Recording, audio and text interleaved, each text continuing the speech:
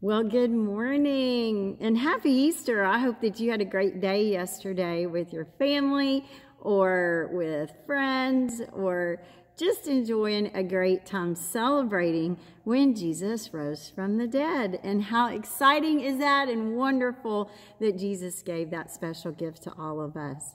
And today we're learning a little bit different story. Today's story is continuing on after Jesus rose and he met up with his disciples.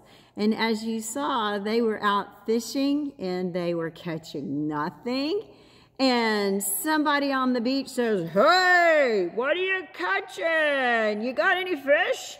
And of course they said, No, we've been fishing all night long and we haven't caught anything. But then that stranger says, Put your nets on the other side. Because back in Jesus' time, they didn't use fishing poles where you throw your pole out and you reel it back in. They had big nets that they would just throw out and then pull in the fish. And amazingly to them, it was a miracle. There was all this fish inside their nets when they threw it out on the other side. And then they looked back on the shore and they realized, it's Jesus! and they jumped in the water and swam all the way to the shore. And then they had a wonderful breakfast with Jesus. And do you know what they had for breakfast? Fish. Fish and bread is what they had for breakfast.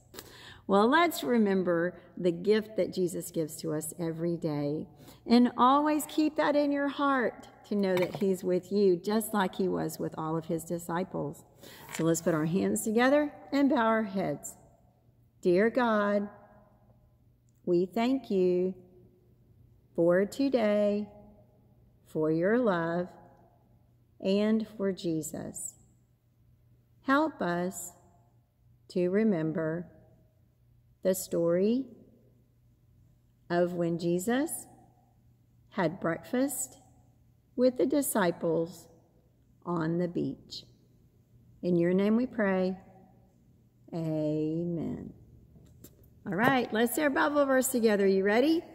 Jesus Christ is the same yesterday, today, and forever. Let's say it one more time. You ready?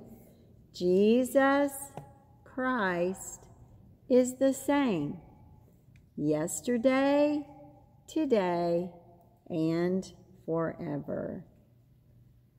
Well, it's birthday time.